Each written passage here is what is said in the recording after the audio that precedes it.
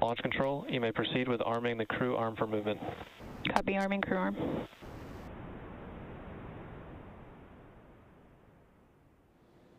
And there you've heard it, just inside 44 minutes, the SpaceX launch director has announced polls are complete. We're go to head into propellant load. The Dragon team is going to begin retract of the crew access arm. So Kate, with that, everything continuing to look good. We're right on time in the countdown. Thanks for that, John I. And it looks like the crew access arm has already begun uh, to retract away. Just a beautiful sight.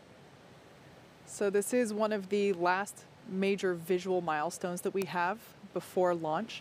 So the crew access arm uh, now moving away, and we are T minus 43 minutes and 15 seconds from launch.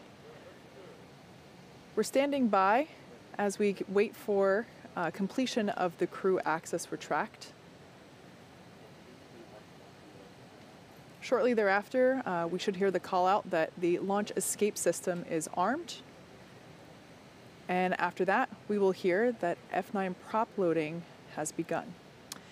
And now, uh, earlier this evening, we saw NASA astronauts Victor Glover, Mike Hopkins, Shannon Walker, uh, and JAXA astronaut Soichi Noguchi suit up. That was about three hours ago. Uh, they made the drive out to Launch Complex 39A.